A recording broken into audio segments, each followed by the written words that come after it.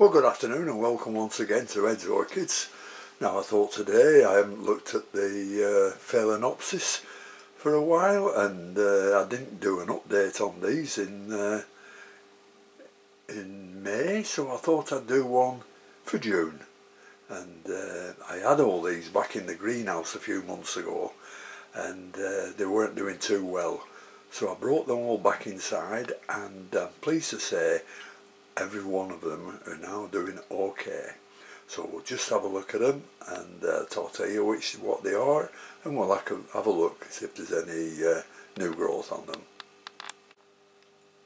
Well this is a Corning's Violets that's been in bloom for ages and I think it's had seven on all at the once, it's just got two on now but uh, plenty and plenty of spikes and new ones growing. There's a spike here that's uh, branching out there. There's a new spike coming up there. And these are all uh, getting ready for uh, to watering so when I've done this video I'll water them all and I'm just going to give them a little bit of uh, Phostrogen. So that one's the Corning's Violet. Now this is the one that's a Phalaenopsis uh, Timothy Christopher and I had this on the mount I made but it did absolutely nothing. So I brought this back in here I took it off the mount I repotted it unfortunately it's not in a clear pot. And uh, I'm pleased to say once it's been in here we're just sending up a spike there. So I'm quite pleased about that one. Phalaenopsis Christopher Timothy this is a Phalaenopsis Zeng Min Pixel. And you can see where the uh, the little snails have had to do at this one. And uh, this one had no roots on at all when I got it. But now I'm pleased to say there's some coming on very very well there. Doing very nicely. And uh, lovely flowers on these too.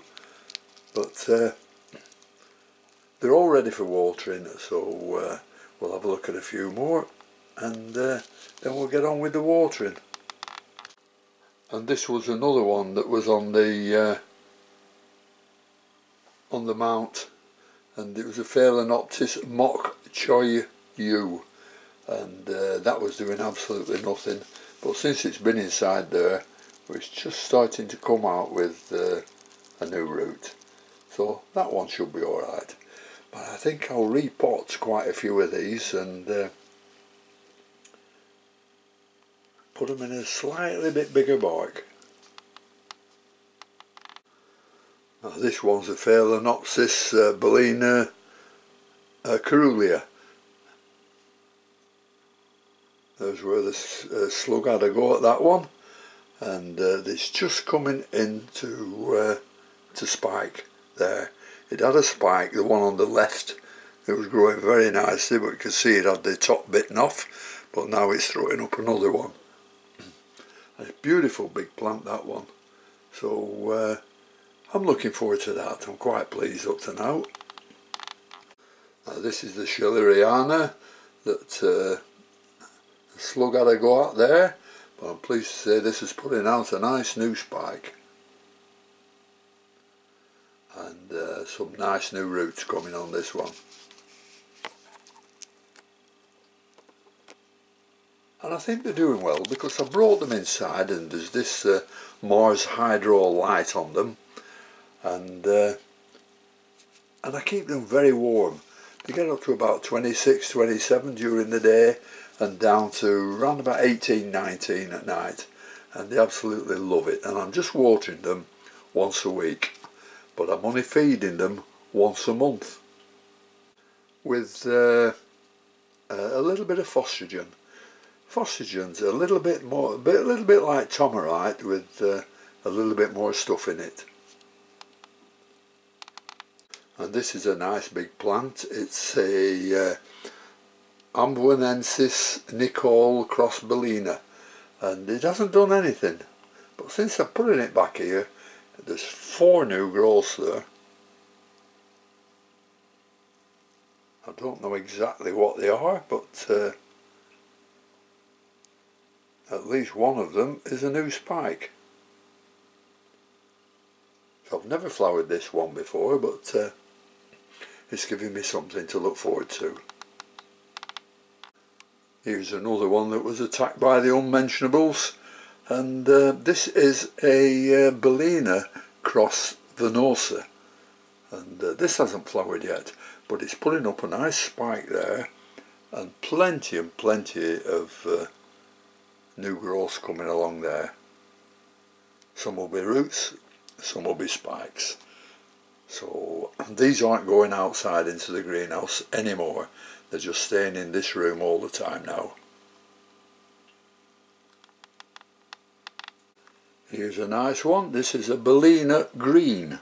And uh, this flowered uh, once before and absolutely gorgeous blooms on these. And this is putting now a new leaf up. It's putting a new spike up. It's putting new roots up. You know, I couldn't ask for anything more off these plants. They're doing absolutely wonderful. I mean, they all look like a muchness of muchness of these, aren't they? So I hope you're not sick of seeing them. But uh, this one's doing nicely. This is a, a Samira. And uh, this is putting up new spikes, new roots. Everything absolutely gorgeous. One, two, three and by giving them a touch of Phostrogen today it'll bring them along a little bit quicker because it's a very good uh, uh, so it's a very good fertilizer for uh, well they use it for fruit and vegetables and flowers.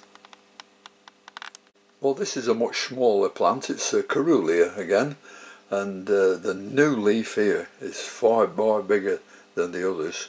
So that just proves that they're happy where they are and this one is coming out with some uh, nice new roots there. I don't think there's any spikes.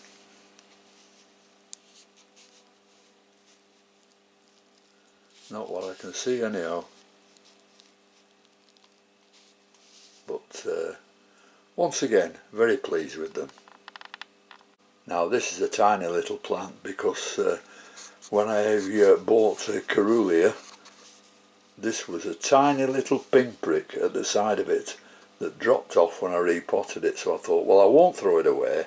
I'll just give it its own little pot. And uh, it's grown very well because you can see it's got some leaves underneath there. It's putting a new leaf out there and it's got some nice roots growing.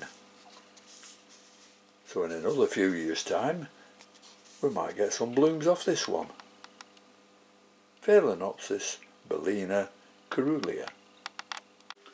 Well that's about all for today so thank you for uh, thank you for watching and thank you to all my subscribers and until I see you next time I hope everybody's okay and I hope everybody's plants are growing.